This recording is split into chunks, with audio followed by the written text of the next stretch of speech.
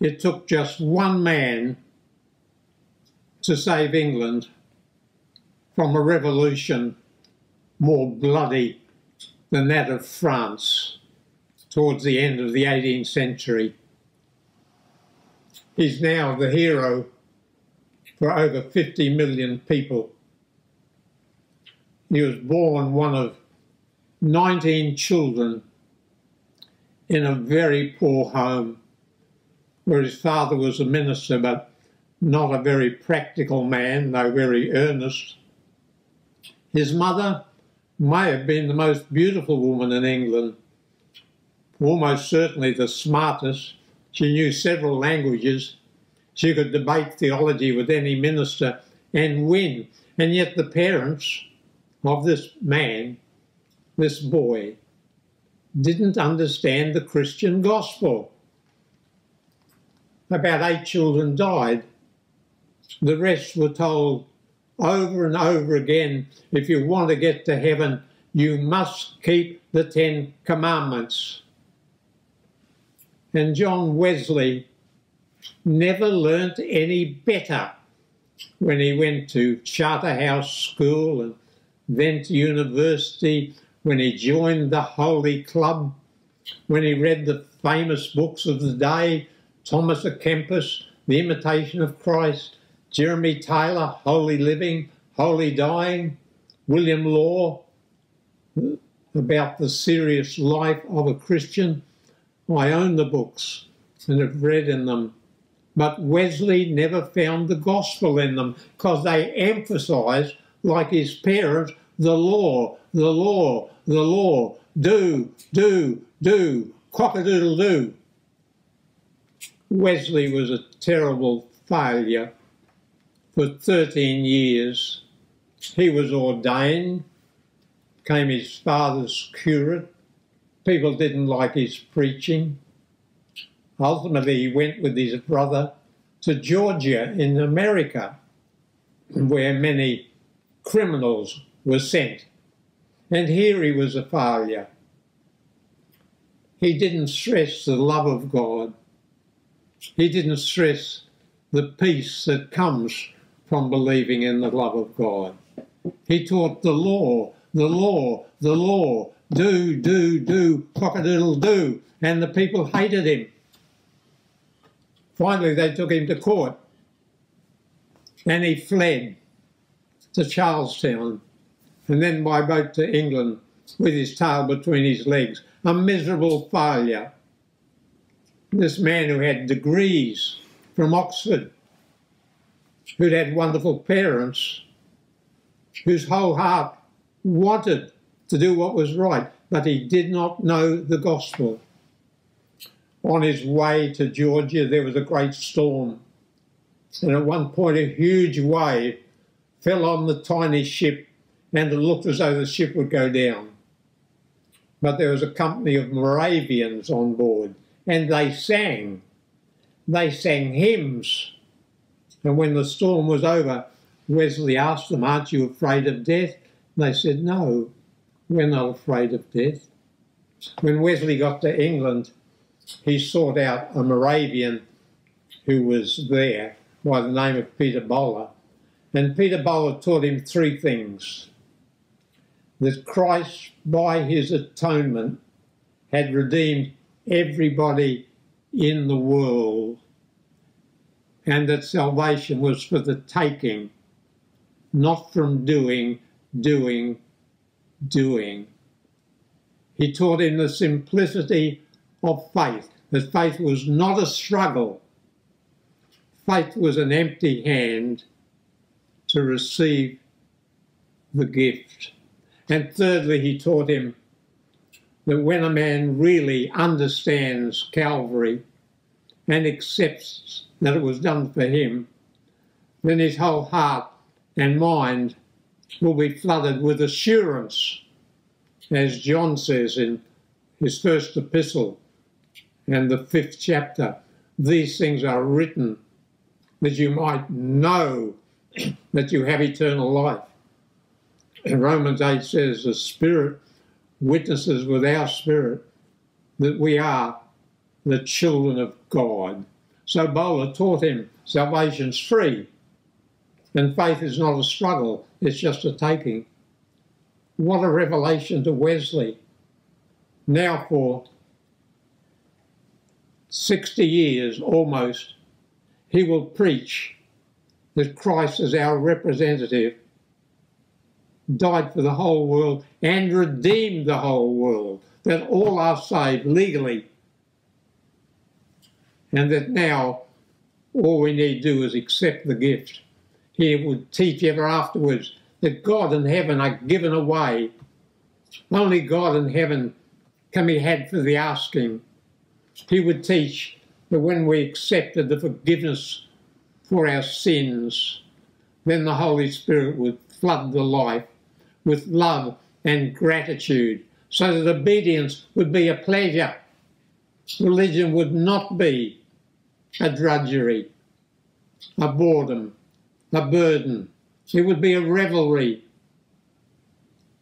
It would be a festival. It would be an everlasting song. Well, Wesley was wrestling with these new truths after his failure in America, and he was invited to go to Aldersgate Street where Luther was to be read. And that morning he read the words, You are not far from the kingdom of God. Well, he went. And the Luther from Romans was read. And Wesley later wrote, My heart was strangely warmed, and assurance was given me that God had taken away my sins, even mine, and delivered me from the law of sin and death. And he went forth to change England. He became the most well known man on the roads of England, Scotland, and Ireland and he did what no other man had ever done. He turned the horse's saddle, the English sky above, and the surrounding air into a study. He threw the reins on the horse's neck and held the book up to his eyes, and for 50 or 60 miles he read and learned. What a man was this Wesley! There was a radiance that flowed from him. There was a perpetual happiness. He had a patience that was infinite. He had a kindness that was without limit. He loved people. He looked upon every soul as of immortal value and worth. Dr. Samuel Johnson, the great lexicographer, said that dog John Wesley. He enchants you with his conversation, then he suddenly leaves you, go and talk to some old woman. Yes, Wesley regarded that as a duty, and the woman as important to God as Samuel Johnson.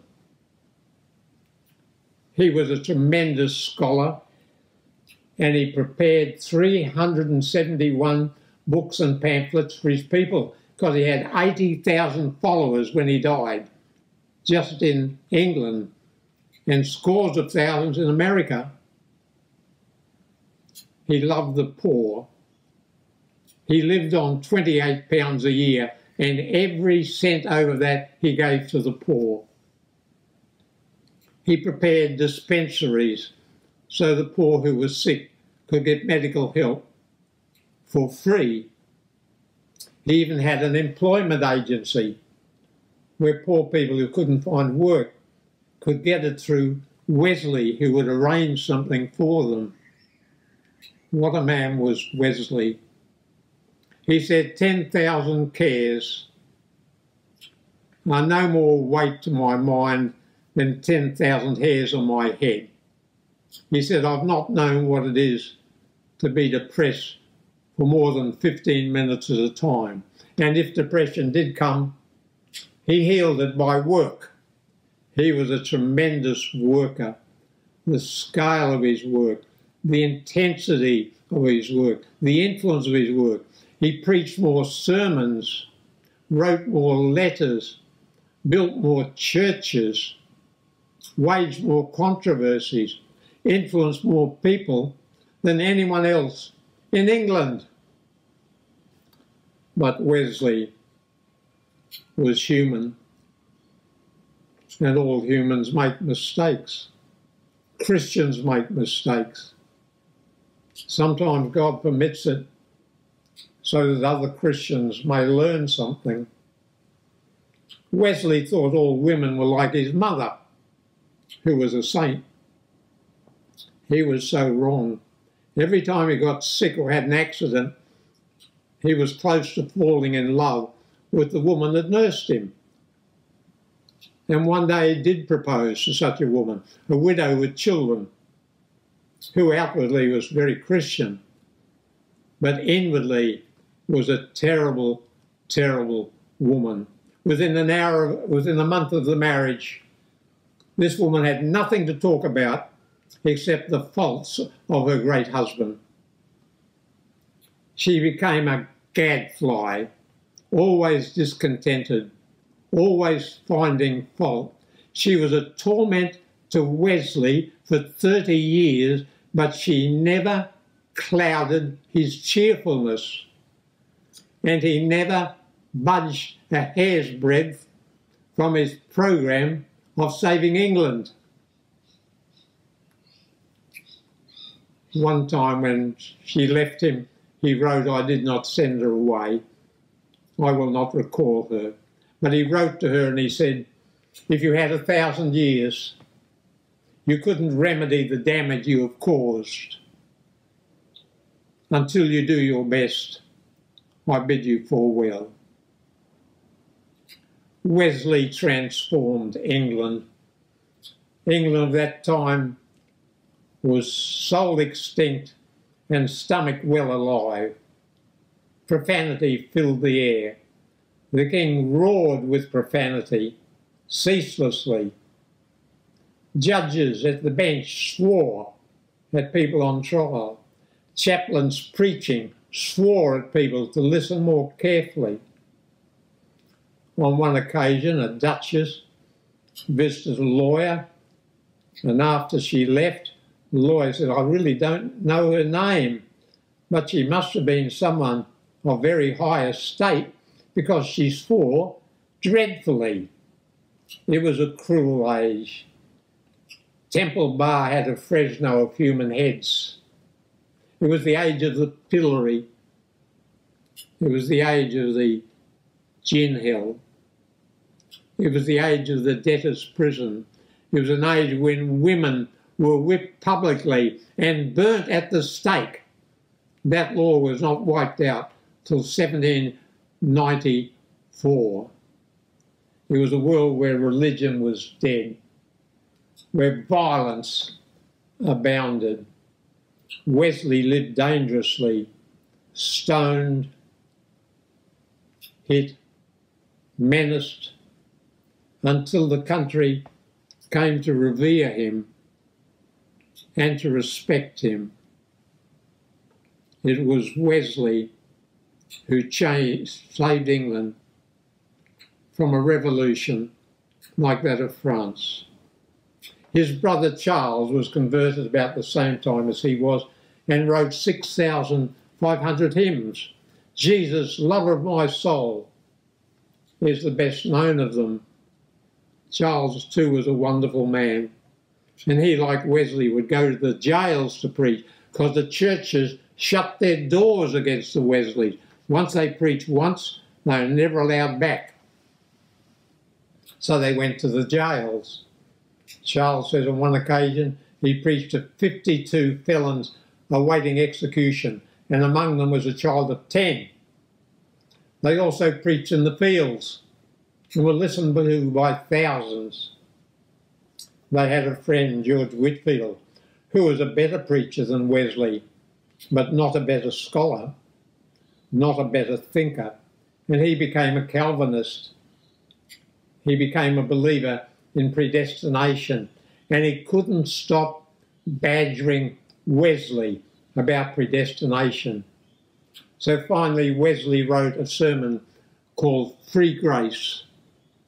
It's found still among the Wesley sermons. And he said, You predestinarians make God worse than the devil, more false, more cruel, more unjust. He said to this effect, Fancy God ordaining that most of the people he made would have a life of sin and sorrow, trouble and anxiety, and then would be tormented for eternity. What a teaching, said Wesley. Why does the Bible give us praise and condemnation for its characters? Obviously, human beings are responsible. Obviously, God has given free will to human beings. That explains the tragedy of the universe. God took a fearful risk when he made free will beings, but he thought it was worth the risk. And most of us think also that it was worth the risk. And so Wesley and Whitefield parted company, and Whitefield, who sometimes preached for 40 hours in a week, was worn out by the age of 50, died in an asthmatic attack on the stairs as he was speaking to people. A wonderfully great man, perhaps the best preacher England ever had, but not as intelligent as Wesley. Wesley had shown that freedom of the will was the reason the Bible could praise some people and condemn others. We are responsible for what we do. If a man only does goodness because he's compelled to do it, then it's not goodness at all. And if a man does evil because he's compelled to do it, the Calvinistic view, then it's not evil at all. No, human beings are responsible. And we are responsible to respond to the love of God who loves the unlovely, who accepts the unacceptable, who died for every one of us. Not only died for us, he redeemed us. When a representative does something, all whom he represents are counted as having done it. So when Christ died for all, as Romans 5 says, while we were yet sinners, we were reconciled. So before we heard the gospel, before we made a decision for God, we'd already been saved, but it must be accepted. Read Romans 5 often. While we were without strength, Christ died for us. While we were yet sinners, we were reconciled to God. And at the close of the chapter, it tells us that by the righteousness of one, Jesus, all the world has been acquitted, declared righteous, but it must be accepted so that grace may reign through righteousness. Do you understand that word grace? It was a big word for Wesley. It meant the unceasing, undeserved love of God for the undeserving, for the ugly, for the failures, for sinners. That's grace. And so Wesley lived until he was 88 years of age. Even at 85, he could walk 12 miles in a single day. But at 86, he said, I am decayed from head to foot. My right hand trembles. My mouth is dry and hot. A fever is surrounding me. Then he took a five months tour when he was like that throughout Scotland and England. And he came back to die. And as he was dying, he said, Little children, let us love one another. Into the holiest only by the blood of Jesus. The best of all is that God is for us. And he fell asleep in Christ. God bless you.